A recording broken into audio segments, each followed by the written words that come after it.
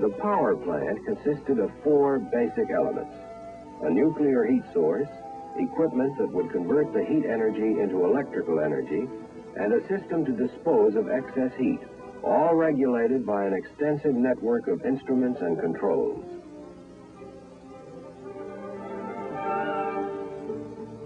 Jim Barnett, in charge of this operation, who will tell you about this critical phase.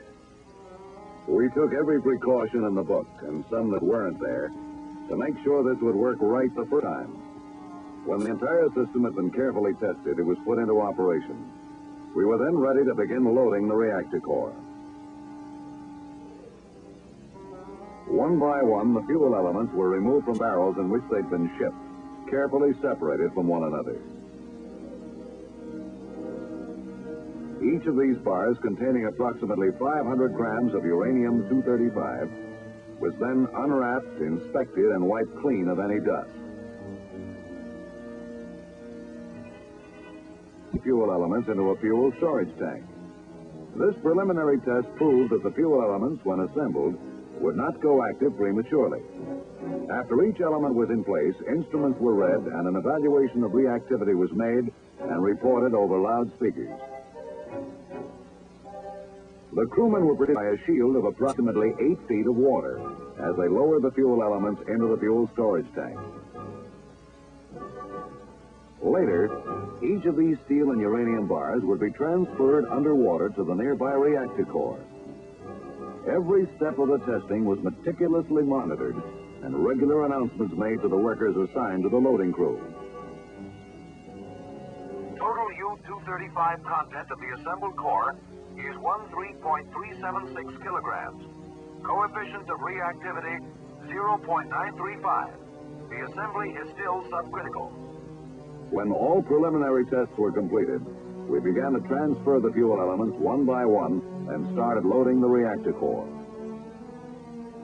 As each fuel element went into place, the count rate of neutrons released gradually increased.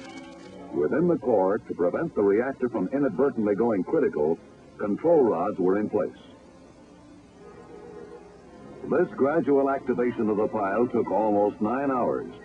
In this tense atmosphere, we changed crews twice. Above us, it was dark and miserable. With the approach of winter, the sun was preparing to set for the year.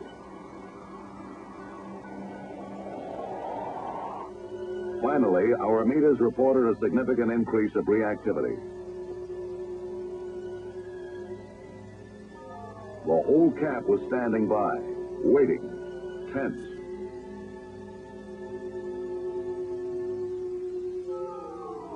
By the ninth hour, the last fuel element had gone into place.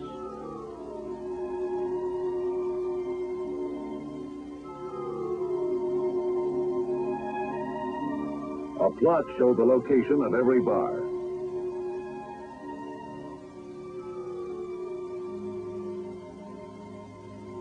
Then the control rods were gradually withdrawn until the reactor went critical at 6.52 a.m.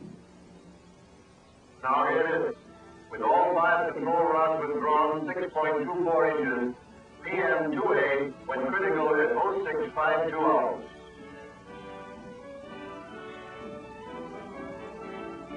Within the next few weeks, the final touches were put to Camp Century. Today, powered by its nuclear reactor, this unique installation is a completely modern community deep under the ice. This is a far cry from the primitive Jamesway huts of the work camp, where three showers served 250 men. Here, there are showers for all and facilities for every modern convenience.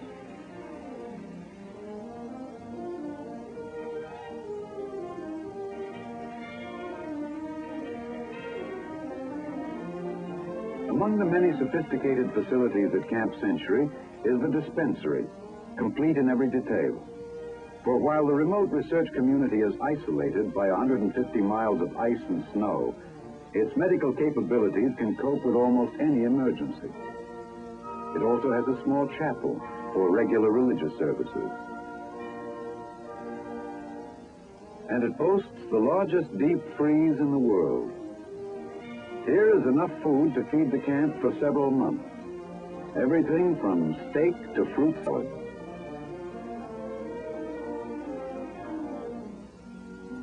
The modern spacious kitchens provide a well-balanced and appetizing menu.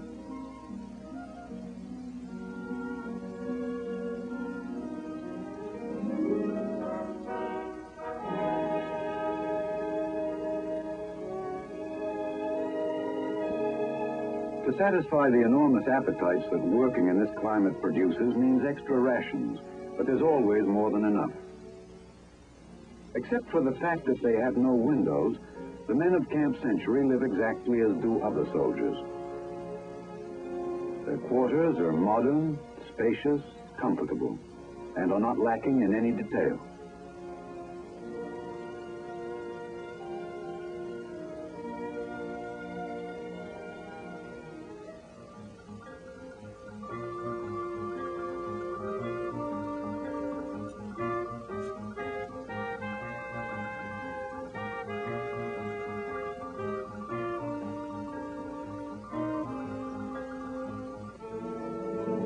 Today, Camp Century is being operated as a year-round Arctic Research Center.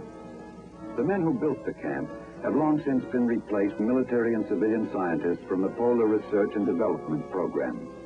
As part of man's efforts to probe deeper and deeper into the secrets of the universe, an elaborate program of tests and experiments is being carried out.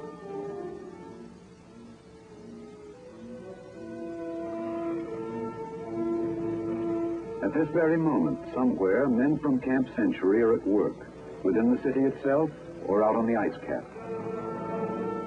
Only Muckluck remains from the original contingent.